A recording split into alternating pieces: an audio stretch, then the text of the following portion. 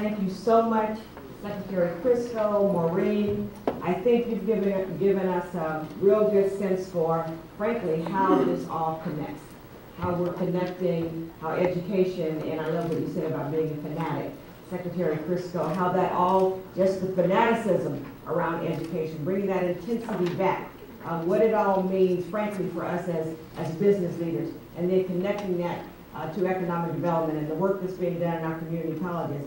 Uh, some of that was just mind-boggling to me when I saw uh, all that equipment, and someone actually has to put some energy and time and thought and intellect into creating that. And it's our children, our young people, who are actually doing that.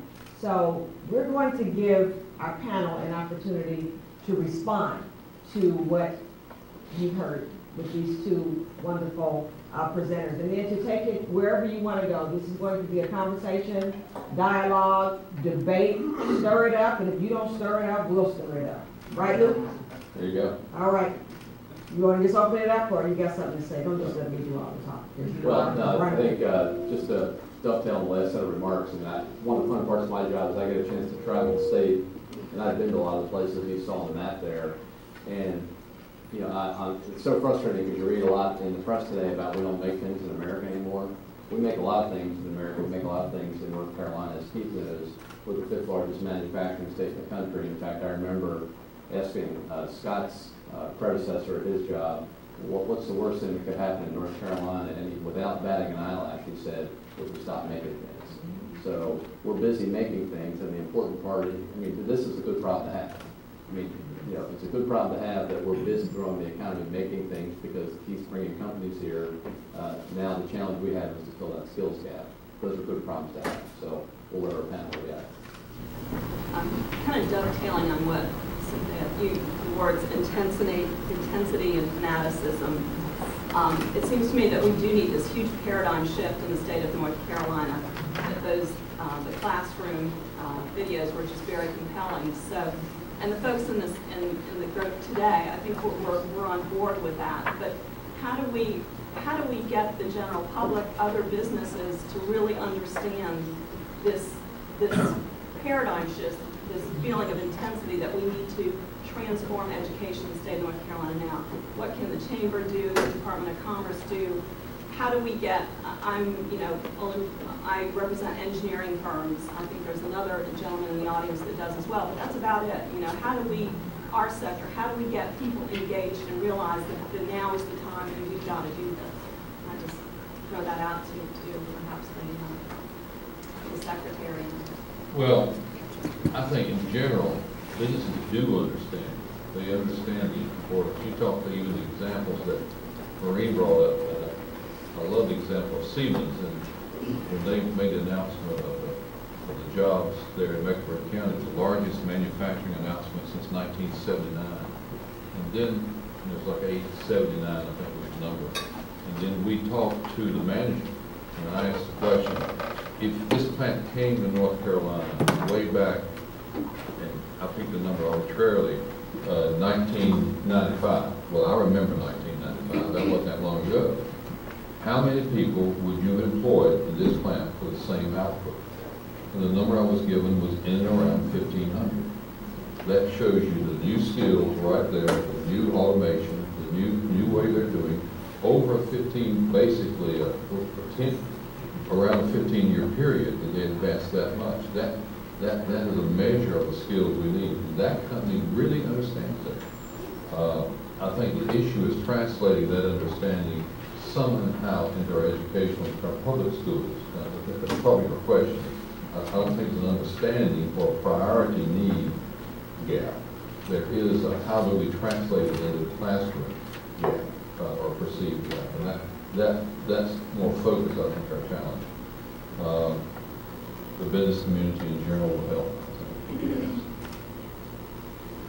And just to add to that, I I think also there's a lot of opportunity for business to become engaged with the public schools and get back in the classrooms. I mean, the, the type of instruction that Sophie was illustrating is is a great opportunity for, you know, you as an engineering firm to be back in a classroom talking about real-world applications.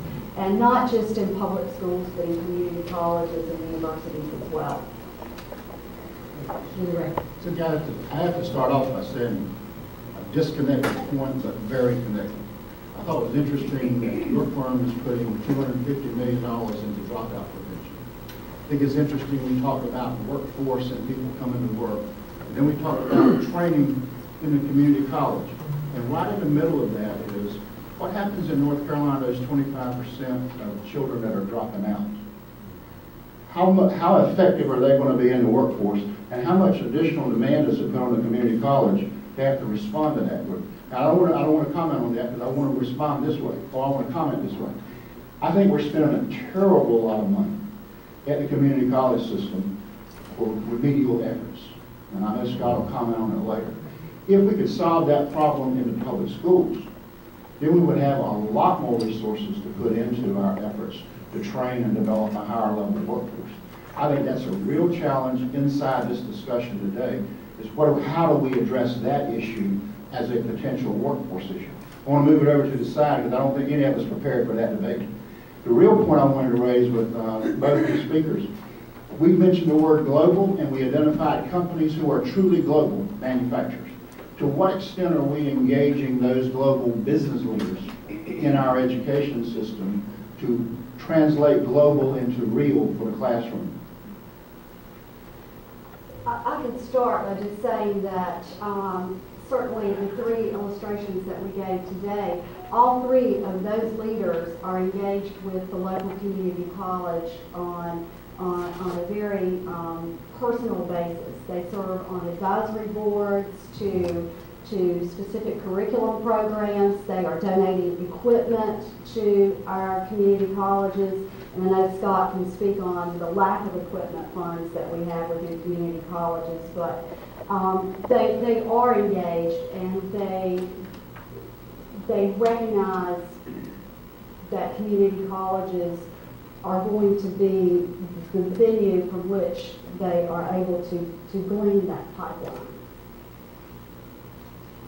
Those are excellent examples, in my opinion, and it's wonderful, very good point, that's not enough, it's not quick enough. We've also got to get the uh, management of A and E thread and people who are existing North Carolina companies who have realized that globalization is their market, and not just the ones we bring in that are global, but the ones that are here that have miraculously discovered they can sell stuff overseas, and they become more global to survive, get them involved. I know many examples where they are. That, that's, that's more mass of, of companies, and we need to get those, tap into those also. Well, and again, a real life example right now, uh, in the short session, we're actually going to move legislation to facilitate lateral entry.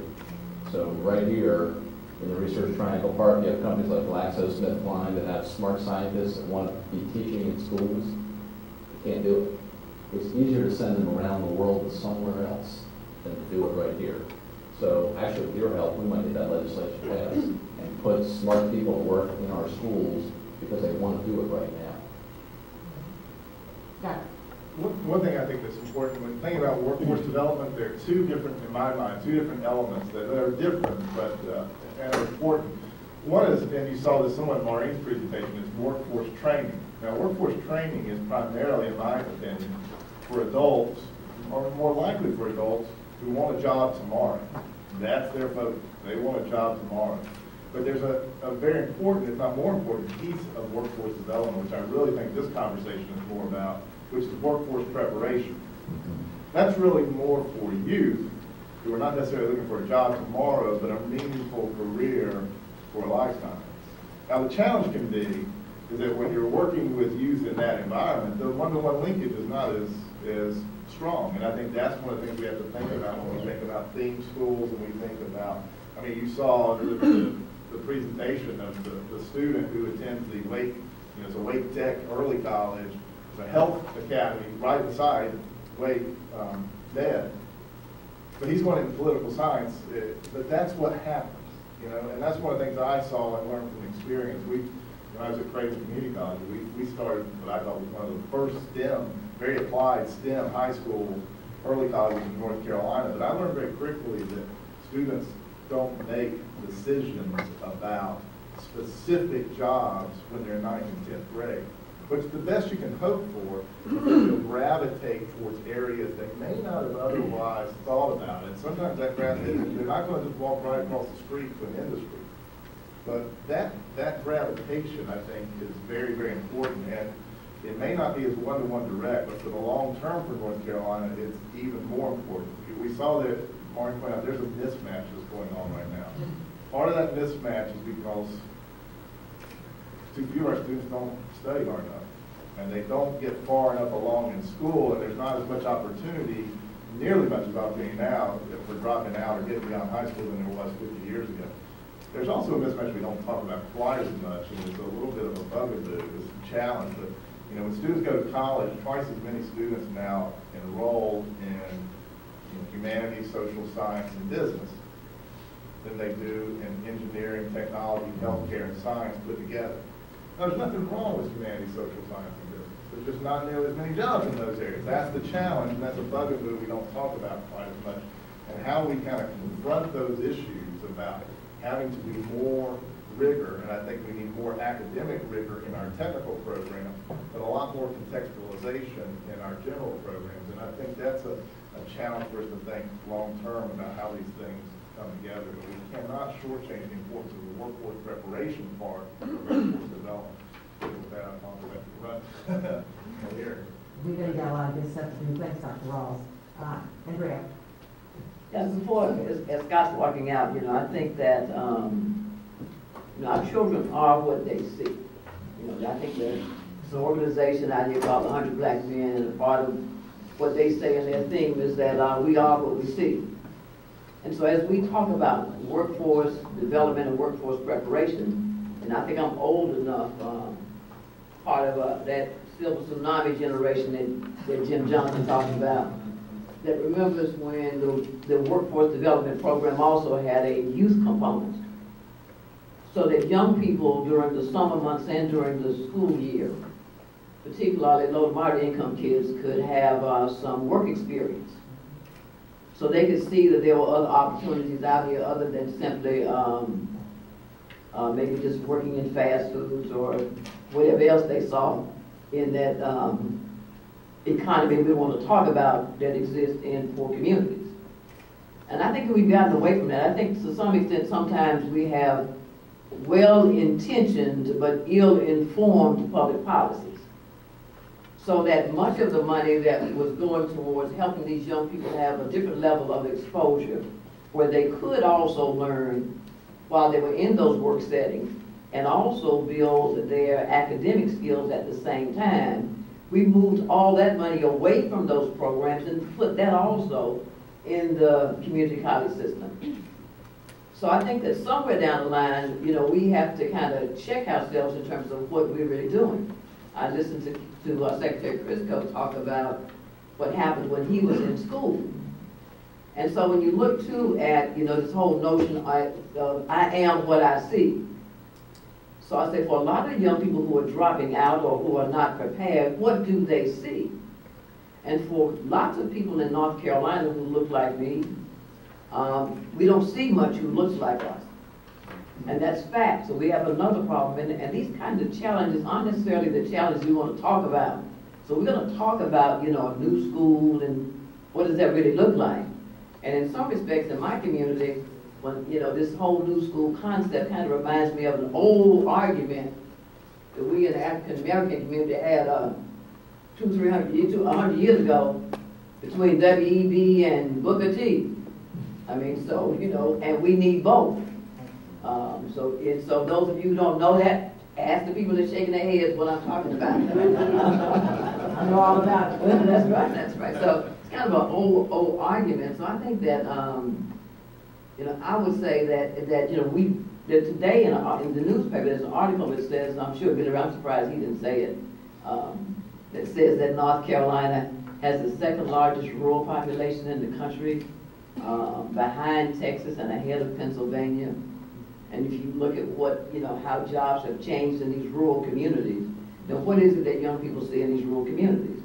Uh, and what is it that, um, you know, I say to people, Billy Ray put me on a panel, I'm gonna shut up in a second. He put me on a panel to say, to talk about young people coming back to rural communities.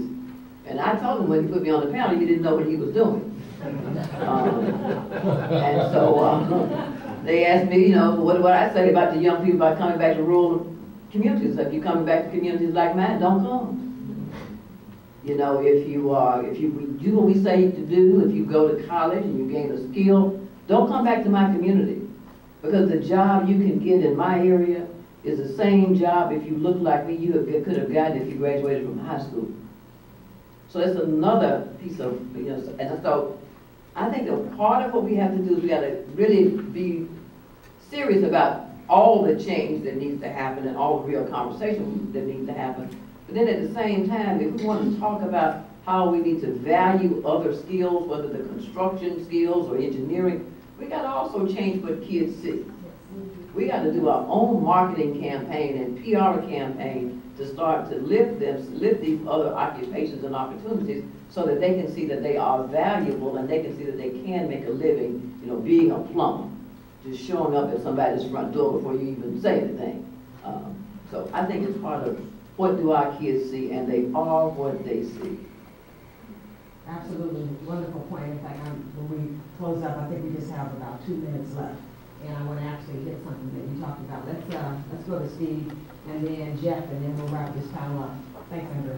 Th- th- This is a question uh, and a point, uh, but the question part is really for Maureen Keith. Uh, Read an article in the Wall Street Journal a few months ago, and they referenced a study which uh, I'll preface by saying I don't think uh, fits uh, two of the companies that we have here today in Progress Energy and at and T. But the study referenced uh, the fact that, uh, say, over the last 10 or so years, that companies themselves were putting less resources into internal training and workforce development within their own companies, and that they were trending towards uh, relying more on the public sector, our educational system, our community colleges, to provide uh, that training and that workforce development. And uh, of course, we're all talking about partnerships and uh, more collaboration and interaction, which we know is very, very important. But my question to you, Maureen and Keith, uh, in terms of uh, what you have seen in your experiences on the workforce development part and working with a number of companies, is that trend, do you see that trend with uh, North Carolina companies? uh, And is that uh, something that we need to work with them on? Well, I'll, I'll start and then certainly turn it over to um, Secretary Crisco. But I read that same article and, and I think companies have to realize that, you know, their specific processes are unique and specific to them. And they have to take ownership in training just as we are preparing a workforce but education is a, education and training is a continued process. It is a lifelong learning process. And until companies can really embrace that, you know, I, I think that they are failing themselves. Now, what I will say is that in North Carolina, um, you know, I, I think companies are committed to training. It's unfortunate that sometimes when there are production schedules to be met and you are trying to compete globally and you are trying to get a product out the door, that training can be put, you know, on the back burner, if you will. But I think most of the companies in North Carolina that we deal with recognize the value of that lifelong learning concept, Steve. But they too have got to take ownership. It doesn't just stop once they hire someone. Steve, I think it's pretty hard to generalize in kind of firms. I, I do see some that are still training, but I still rec- recommend it done in, in a real kind of negative, uh, or perhaps understandable discussion I've gotten into as our, as our workforce is more mobile. With the model, uh, in, in certain industries are quite mobile, people go from company to company. Uh, but that, you know, certain training, not, not, not all training, but certain training, that the companies feel like they just can't afford to put the investment because just think if you put two years into a training curve and, and employees with you three years, this company's going, employees will be with you forty years. That's another kind of investment return model. So that, that's in there somewhere, I, I, I can't deny we have those kind of attitudes and discussions, and perhaps somewhat understandable from, from here, a regulatory standpoint. But again, certain companies, certain models do, are, are training quite well today, but it's not as prevalent as it was twenty years ago, I agree. Because of some of the changes in our workforce, changing the mobility of our workforce, changing in the profile of the kind of companies we have in North Carolina. The more traditional companies that had operations that stayed the same for a while, you could invest in training, and then you get your return. And so those, those are some of the factors will think about. Thank you. May I close just with one quick Yeah, we're gonna close with your comment, and then Jeff will come back to you when we uh, get into the- the second one. Listening, listening to Secretary, to um, Secretary Crisco speak, he's exactly right. And this is the, this is the one thing that I would close with. When a company says that they, you know, what if I train someone and they leave? I always look and say, what if you don't train someone and they stay? You know, they, they've got to take ownership, and I know you will. Thank you, absolutely. Uh,